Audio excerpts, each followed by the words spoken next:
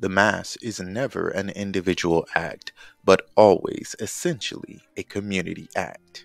A quote from Karl Adam. Today's question is What is the collect?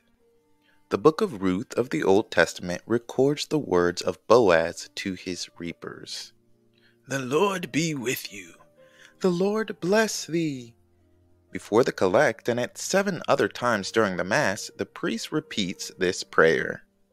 The word collect is from the Latin word meaning to gather. The custom of saying it began in Rome when, you see, we gather together at this church, then go in procession to another. And nothing happens at the first church? Oh, yes, the priest says a special prayer mentioning our intentions for today. Does the priest make up the prayer as he goes along? You see, some collects have been written by priests, but Pope Gregory himself has written many as well. Gradually, the procession from one church to another was abandoned, but the collect remained as a part of the Mass. These collects are written with such clearness and beauty, we must preserve them.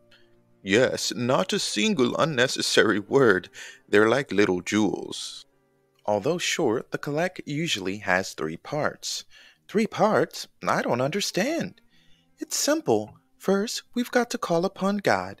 Then we tell him what we want. Then, because we haven't done enough to deserve the favor, we ask it through the merits of his Son, our Lord Jesus Christ. Let's break one down into sections. Here's one for Advent. The invocation says, Incline thine ear, we beseech thee, O Lord. The petition says, And by the grace of thy visitation, enlighten the darkness of our minds. And the termination goes, Who liveth and reigneth with you, O Father, in the unity of the Holy Ghost, God, world without end.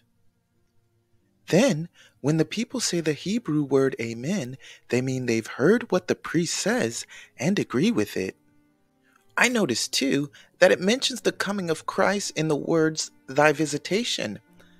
That's because the collect express the spirit of the different feasts and seasons.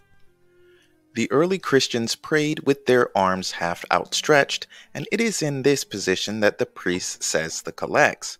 The priest's position is a sign that all the members of the church offer themselves with Christ to God and that they are all ready to receive grace. There were only two collects in today's Mass, weren't there? That's right, the greater the feast, the fewer collects are said. This has been a Catholic Fact brought to you by SDCason.com, the free Catholic Image Gallery. Until next time, God bless and stay holy,